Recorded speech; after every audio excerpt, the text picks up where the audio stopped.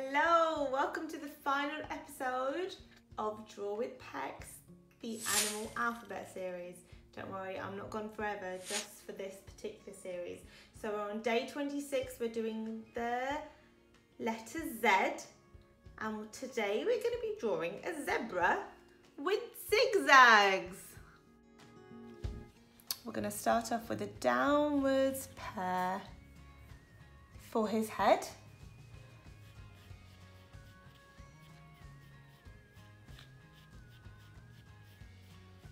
So, and what I'm looking for is I'm almost looking for a circular bit at the back, come forward for the mouth, like that. And then we're gonna put it in his ears. So we're gonna do one ear on this side.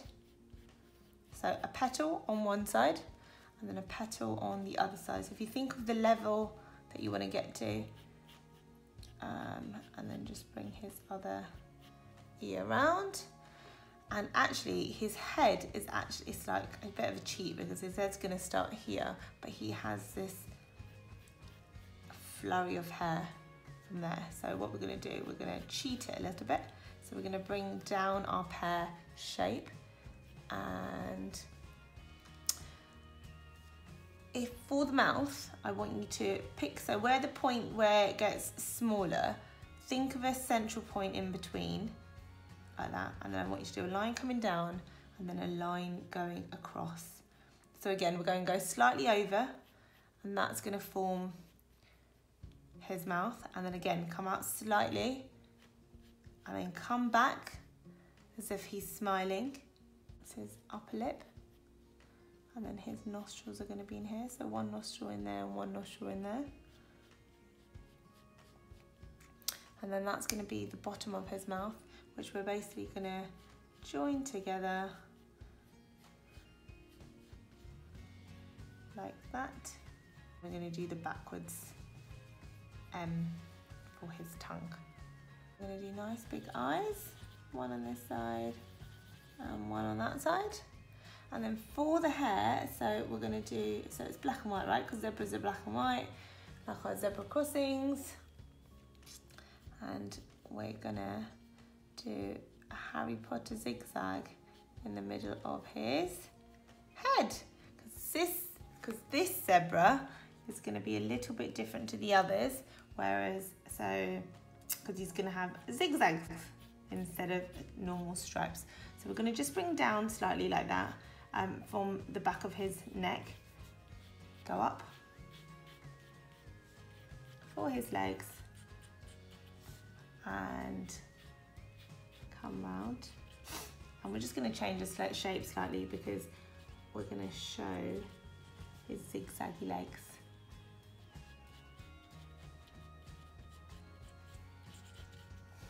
His tail, so basically that's his bum. We're going to do the tail coming out from underneath like that.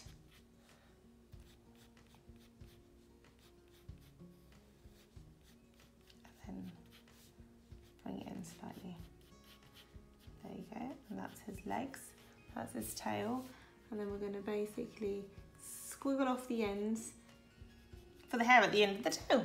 So there you have it. That is our outline for the and then for the front bit. So in between the two, so let's say about there, that's where his neck's gonna be. So it comes in and it goes straight into the first leg so again, imagine our imaginary line. So his legs coming in there, joins the back of the body, and then his other leg would technically be a little bit higher. Not too much because this one's going to be aligned too. And then they can just literally be slightly in. So the two front legs will be slightly more lowered like that. And then the two back, just ever so slightly, not too much. Just be further down below. And then we can do his zigzag patterns.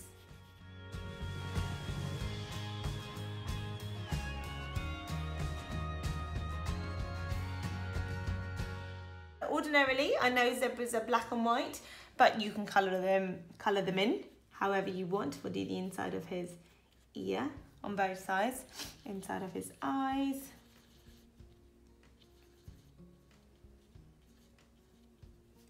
You know how to do them now. And then we're going to carry on his hair and it's going to go all the way to there. So we're going to carry on his black and white stripes to the back there. And then if you want to, you can add some little triangles in the hair just to show that it's not just one big block of hair. And that's our zebra. Um, and he needs maybe some zigzags on his face. Um, and I guess you can just have some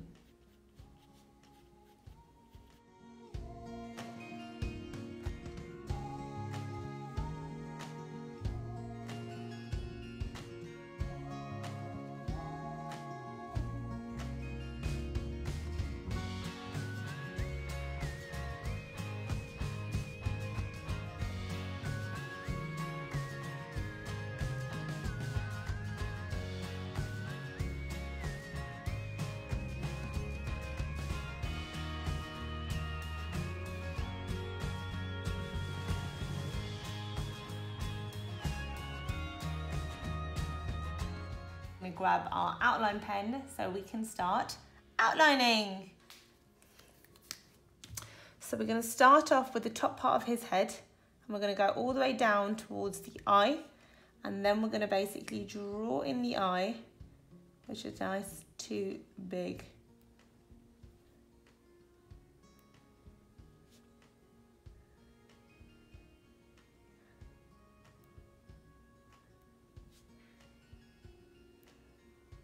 the coloured bit.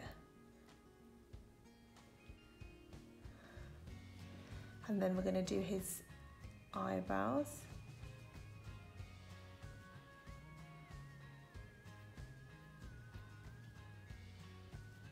Eyelashes, just cut the top part of his eye off.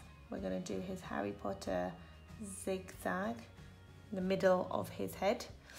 And then for the mane, I'm just want you to do a slight curve to the first line, bring it around and then do these tiny V's that I was telling you about into the hairline. We're going to do this side of the ear and then the inner part. So we're going to do the next part of his ear on this side. So zebras are obviously renowned for their black and white stripes and a group of zebras together are called a dazzle. And there's three different species of zebras.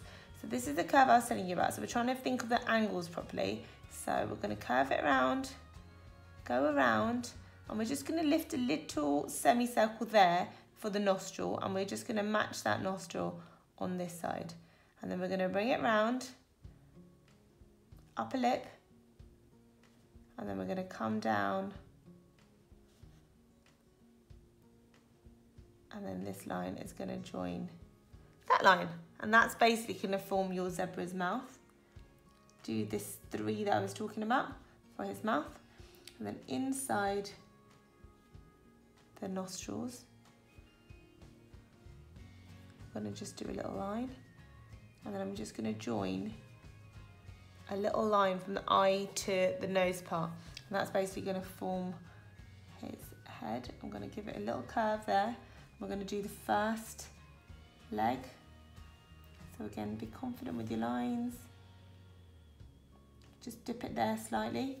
And then for the hooves, come out and then it goes from low to high like that. And then we're going to do his back leg. Hoof.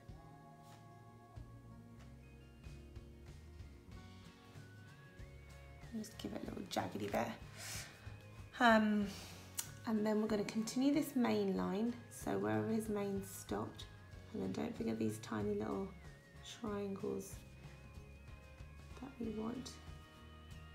Back of his head. and into, straight into his tail. So coming down. Then we're going to do the back leg from here.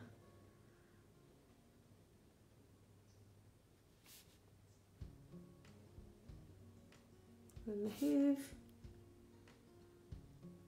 Like that. And then we're going to do the other part of the tail, which is there. And then I'm going to make it quite bushy, but it's up to you how you want it to be. And that's the back of his tail. And then we're going to do, a, so from the circular bit at the back, we're just going to do a little bit, not too much, just a little bit further away, like centimetre for the far back leg. Same concept. Just get his knees in there. And then the hoof. There you have it. And then we're just to join the front leg up slightly to that leg. And that's our zebra. And now we're gonna make our zebra have zigzags. So fun bit. Okay, so I'm gonna give him one zigzag across there, like his cheek. And then we're gonna just form